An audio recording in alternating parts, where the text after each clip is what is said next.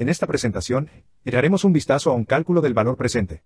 Cuando los plazos son en forma de meses en lugar de años. Nuestra información estará en la parte superior.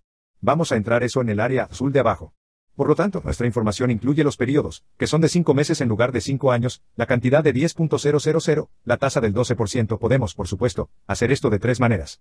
Podríamos usar la fórmula, podemos usar las tablas y podemos usar Excel. El punto clave aquí es que, por lo general, cuando pensamos en periodos, a menudo se desglosa en términos de años.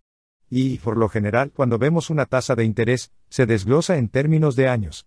En otras palabras, si tuviera que decir un interés del 12%, por lo general, no tendría que decir por año, esa sería la suposición. Así que la suposición es que es por año, 12% por año. La razón por la que tenemos esa suposición, o una razón, puede ser que porque eso significa que la tasa de interés va a estar en un rango razonable aquí, 12% en lugar de, si lo desglosamos a una tasa de interés mensual, sería algo así como 12% dividido por 12, y tendríamos un punto, o, 1%, por lo que es difícil para nosotros hablar de tasas de interés por menos de un periodo de tiempo, porque van a ser números pequeños, posiblemente. Por lo general, el valor predeterminado es tenerlo durante un año. Ahora, si estamos pensando en una tasa de interés, que decimos que es del 12% anual, pero el periodo de tiempo del que estamos hablando es en términos de meses, no de años, entonces tenemos que tener en cuenta eso cuando hacemos el valor presente. Así que dentro del valor presente, lo haremos con las tablas. Lo que eso va a significar, por lo general, es que tomaremos la tarifa anual y la dividiremos en una tarifa mensual. Así es como normalmente haríamos esto. Así que diríamos, muy bien, los periodos ahora van a representar meses. Tenemos cinco meses. Eso no es un problema. Es decir, cinco meses en lugar de cinco años. Pero ahora la tasa, no podemos llegar hasta el 12%, tenemos que ir al 12 dividido por 12, que será el 1%, así que tenemos que llegar al 1% aquí. Podemos hacer esto con una fórmula, y podemos hacer esto con cualquier tipo de meses, y el hecho de que el redondeo no sea perfecto no es un problema para nosotros. Así que vamos a decir, muy bien, esta va a ser la cantidad de los 10.000, así que tenemos los 10.000 en términos de la cantidad, y luego en la tabla, estamos viendo el 1% y 5 periodos, que representan meses para nosotros. Por lo tanto, 5 periodos a una tasa de interés del 1%, en lugar de una tasa de interés del 12% y observe que ese será el caso. No nos propondrán. O no se dará la tasa de interés. Por lo general, al mes, van a dar una tasa de interés anual, y luego tendremos que averiguar cuál será la tasa de interés mensual.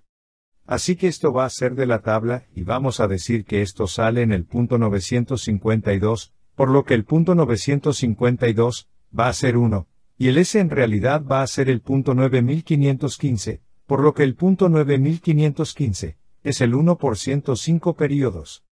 Si multiplicamos eso, entonces tenemos los 10.000 por el punto 9515 y ese va a ser nuestro total, que va a ser el valor presente. Ahora también podemos hacer esto en Excel.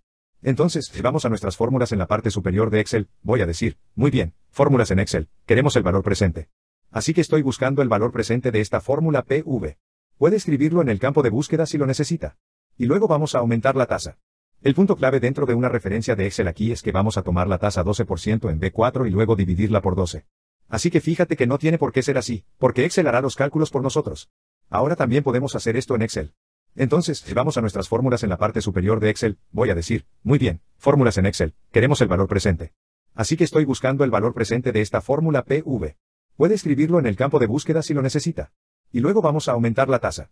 El punto clave dentro de una referencia de Excel aquí es que vamos a tomar la tasa 12% en B4 y luego dividirla por 12. Así que fíjate que no tiene por qué ser así, porque Excel hará los cálculos por nosotros. Vamos a dividir ese número por 12, y luego necesitamos el número de periodos, que va a ser 5, el número de periodos. Tenga en cuenta que no dice año o mes. No importa, siempre y cuando este periodo se alinee con la tasa de interés correcta, que lo hará, porque estamos en una tasa mensual en este momento, y luego el número de pagos es cero, porque esto no es una anualidad.